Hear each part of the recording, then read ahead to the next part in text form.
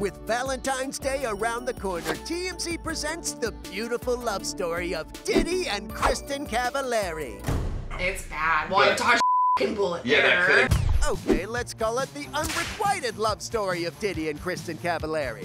Kristin Cavallari was on our podcast and she talks about when she was 22, Diddy tried to date her. He sent me the biggest bouquet of flowers I've ever seen, the biggest box of chocolates I've ever seen. Get under your desk, children. We've got a love bomb alert. And though Kristin found it sweet, it was a little strange since she'd never met him before. He told me he had a TV crush on me and he wanted to take me out, and I just sort of kept like poo-pooing it, and then I finally said no. And now looking back, considering all the horrible accusations against Diddy, she's more grateful than ever that the bomb was a dud. Now as an adult, I'm like, red flag, and clearly, But hold on, love bombing does work sometimes.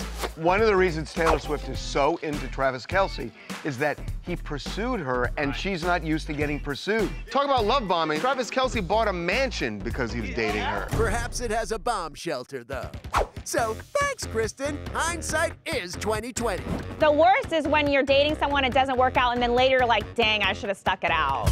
We're sure your husband will be happy to hear that. Happy almost Valentine's Day, everyone! well, Tosh can bullet Yeah, that could